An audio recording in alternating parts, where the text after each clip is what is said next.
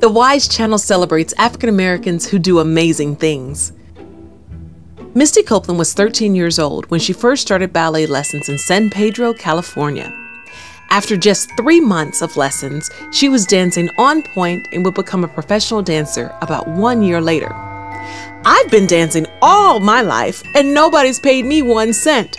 But with a natural gift and a lot of hard work, Misty quickly became a rising star.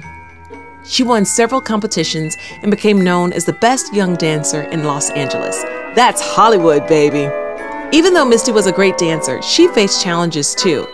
Her family did not have a lot, and there was even a time when she had to live in a motel, but that didn't stop Misty. She kept practicing and working hard, and eventually Misty made history, becoming the first African American woman to be a principal dancer at the American Ballet Theatre. That's a big deal.